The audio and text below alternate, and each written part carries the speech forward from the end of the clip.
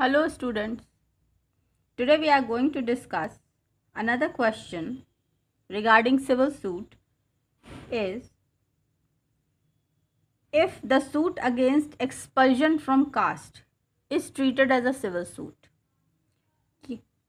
क्या किसी व्यक्ति को अगर उसके जाति से बाहर निकाल दिया जाए बहिष्कृत कर दिया जाए तो वो जो सूट फ़ाइल करेगा वो सिविल सूट फ़ाइल कर सकता है या नहीं और यदि उसने फ़ाइल किया हो, मान लीजिए तो क्या वो सिविल नेचर का सूट होगा या नहीं?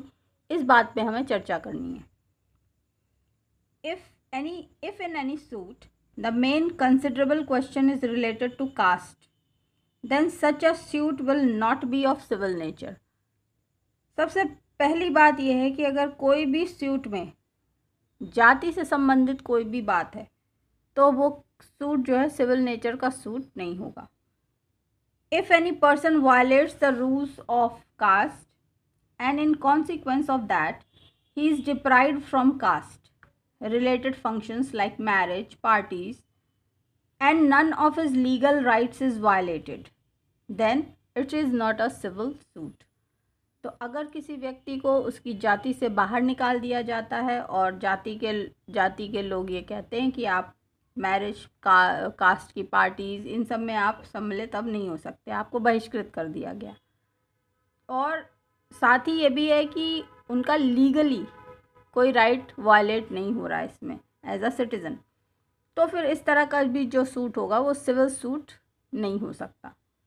In other words he has not lost any of his legal rights अगर दूसरी तरह से इस बात को क्लियरली समझें आप तो उस व्यक्ति ने अपने सोशल राइट्स को तो खोया है। लेकिन अपने किसी भी तरह के लीगल राइट्स को नहीं खोया है। He has only lost his social privilege तो जाति में जो उसका मान सम्मान है, वही उसका ख़त्म हुआ है। Therefore such deprived person cannot file any civil suit इसलिए इस तरह से जो बहिष्कृत व्यक्ति है, वो सिविल सूट फ़ाइल नहीं कर सकता है।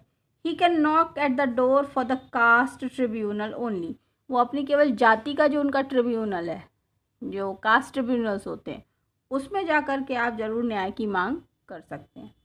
But where a man is excommunicated by his caste then such a excommunicated affects his status character and reputation अगर वो व्यक्ति एक्स कम्युनिकेटेड है, अपने कास्ट के द्वारा तो फिर उसका, उस व्यक्ति का जो स्टेटस है कैरेक्टर है रेपुटेशन है, ये सब इफ़ेक्ट होता है।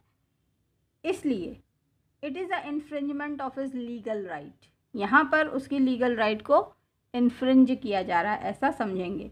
Therefore he can now file a civil suit to set aside the wrongful expulsion from caste and such a suit can be tried by a civil court तो ऐसा जो एक्स कम्युनिकेशन है, जो रॉन्गफुल एक्सपल्जन है, गलत तरीके से आपने किसी पे, किसी को बहिष्कृत किया है।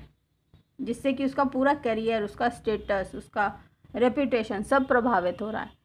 तो इस तरह का अगर सूट फ़ाइल होता है, तब ये सिविल नेचर का सूट माना जाएगा। बहुत फाइन लाइन है। महीन रेखा ये है कि अगर सोशली केवल आप, आपका प्रिविलेज मान सम्मान लॉस हो रहा है तो वो सिविल नेचर का सूट नहीं हो सकता, वो आप फ़ाइल नहीं कर सकते।